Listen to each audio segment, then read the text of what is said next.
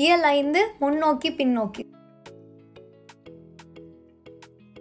கற்றல் விளைவு என்ன அப்படின்னா ஒன்றுலேருந்து இருபது வரைக்கும் இருக்கு இல்லையா எண்கள். இதை முன்னோக்கியும் பின்னோக்கியும் எப்படி எண்ண போகிறாங்க அப்புறம் எப்படி எழுத போகிறாங்கன்னு கற்றுக்க போகிறாங்க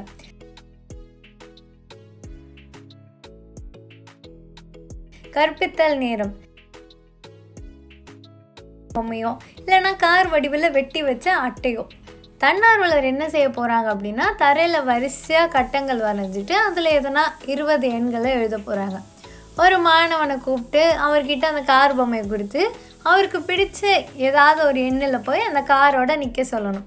இவர் வந்துட்டு போய் நின்றதும் தன்னார்வலர் என்ன சொல்லணும் அப்படின்னா முன்னோக்கி செல் அப்படின்னு சொல்லணும். அப்படி சொன்னதுமே அந்த கட்டத்துல இருந்து அடுத்தடுத்த கட்டங்களுக்கு காரை அவர் வந்து ஓட்டிகிட்டே போகணும். இப்படி செல்லும்போது அந்த கட்டத்தில் இருக்க எண்களை வந்து சொல்லிகிட்டே போகணும். அந்த எண்களை மற்ற மாணவர்கள் குறிப்பேட்டில் எழுதணும். எடுத்துக்காட்டுக்கு அவர் வந்து பதிமூணு அப்படிங்கிற எண்ணில் நிற்கிறாரு அப்படின்னா முன்னோக்கி செல் அப்படின்னு சொன்னதும் பதினாலு பதினஞ்சு பதினாறு பதினேழு இப்படின்னு அவர் சொல்லிக்கிட்டே காரை ஓட்டிகிட்டு போகணும். இந்த சமயத்தில் மற்ற மாணவர்கள்லாம் இந்த எண்களை அவங்களோட குறிப்பேட்டில் லைனாக எழுதணும். இதே போல் பின்னோக்கி செல் அப்படின்னு தன்னார்வலர் சொல்லும்போது அவங்க இருக்கும் இடத்துல இருந்து கட்டத்தில் இருந்து எண்களை சொல்லிக்கிட்டே பின்னாடி செல்லணும். இவங்க போகும்போது மற்ற மாணவர்கள்லாம் இந்த எண்களை அவங்களோட குறிப்பேட்டில் எழுதணும்.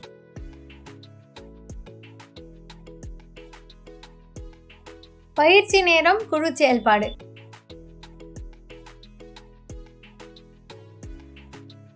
மாணவர்களை ரெண்டு குழுக்களாக பிரிச்சுக்கோங்க.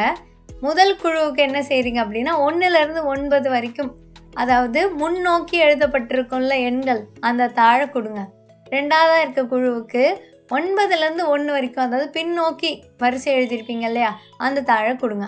இப்போது குழுவினர் ஒவ்வொருத்தர்கிட்டையும் ஒவ்வொரு எண்ணுக்கும் மேலே எத்தனை எண்ணிக்கையோ அதாவது அத்தனை எண்ணிக்கைக்கு பொட்டு ஒட்டணும்.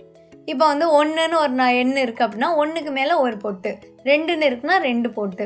இந்த மாதிரி நல்லா இடைவெளி விட்டு சமமாக ஒட்ட சொல்லுங்கள் குழுவினரோட படைப்புகளை அதாவது முடிச்ச அப்புறம் எல்லாத்தையும் ஒட்டிட்டாங்கன்னா அதை பார்க்கும்போது அதாவது ஒன்றுலேருந்து ஒன்பது வரைக்கும் இருக்கும் இல்லையா ஒரு தாள்? அதில் பார்த்தீங்கன்னா சின்ன எண்ணிலேருந்து பெரிய எண்ணுக்கு போயிருக்கும். அதை ஏறு வரிசைனும் இன்னொரு தாளில் ஒன்பதுலேருந்து ஒன்று வரைக்கும் இருக்கும் இல்லையா? பெரிய எண்லேருந்து சின்ன எண்ணுக்கு வந்திருக்கும். அதை இறங்கு வரிசைனும் அவங்களுக்கு சொல்லிக் கொடுங்க. அடுத்து எழுதி பழகுவேன். இதில் முன்னோக்கி எழுதுவேன்னு ஒரு பயிற்சி இருக்குது அதாவது பன்னெண்டு ஒரு எண் கொடுத்துருப்பாங்க. அதுக்கு அடுத்தடுத்து என்ன எண் வரும்னு எழுத சொல்லணும் குறிப்பேட்டில். பன்னெண்டுக்கு அடுத்து என்ன வரும்? பதிமூணு பதினாலு பதினஞ்சு பதினாறு.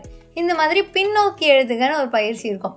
பதினேழுன்னு ஒரு எண்ணு கொடுத்துட்டு இதுக்கு பின்னாடி என்ன வரும்? இந்த பின் வரிசையில் பதினாறு பதினஞ்சு பதினாலு பதிமூணு அப்படின்னு எழுதணும்.